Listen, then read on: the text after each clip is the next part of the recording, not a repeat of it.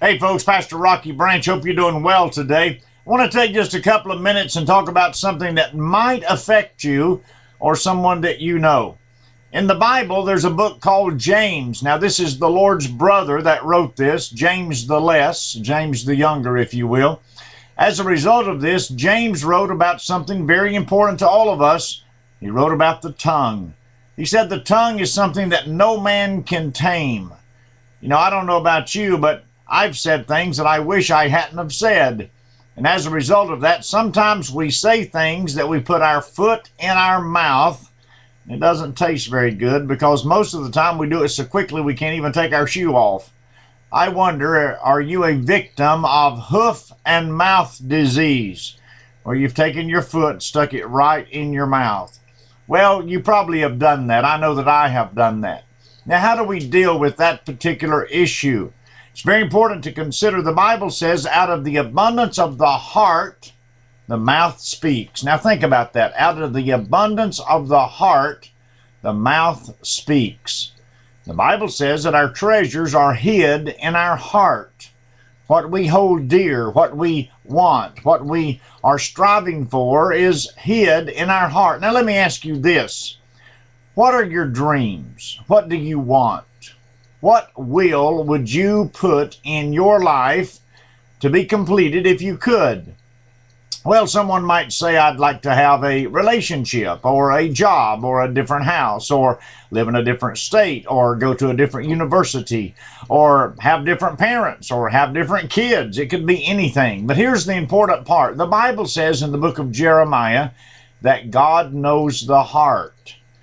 You see, my friend, what is in the heart comes out the mouth oftentimes, and many times when we get angry, when we lose our composure. Now, we're on guard most of the time because we don't want people to think bad of us, so we hold our emotions sometimes and we don't say really what we mean. But sometimes when the teapot blows its stack and the steam begins to come out of our ears, then sometimes we say what we think and it's really not what we mean at all. It's because something's happened that's erupted inside of us that to ourselves we cannot hold it back.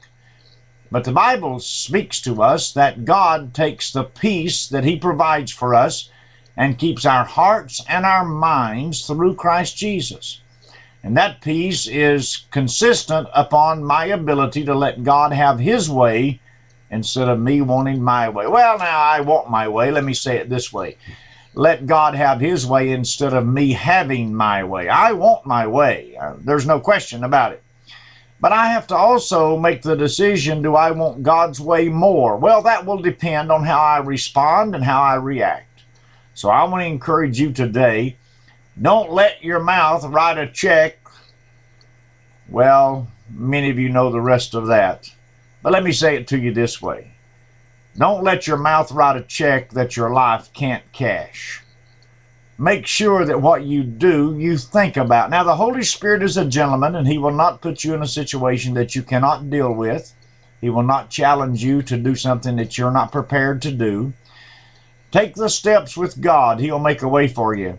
You say, Well, Pastor, I've already said things that are wrong. I've already said things, and I blew my stack to someone that I care a lot about.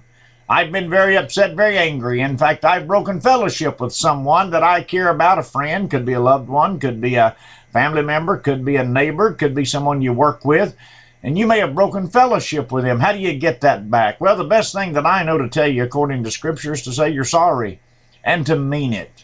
You know, words are just words, but when they're meant, the Holy Spirit can work on the other person. You say they're not going to forgive me. They may not. That's their choice. Your choice is to make sure harmony is available. With the same lips that you have been upset and angry with, you can say, I'm sorry, and become humble with. That's what God would have us do because God wants to work out for His glory. Now, just because you say something that's maybe not right doesn't mean you doesn't love God or that you don't love God. It just means that you got ahead of yourself a little bit. So don't beat yourself up too bad. Just try to do something about it and be careful the next time. God bless you. We love you. And goodbye.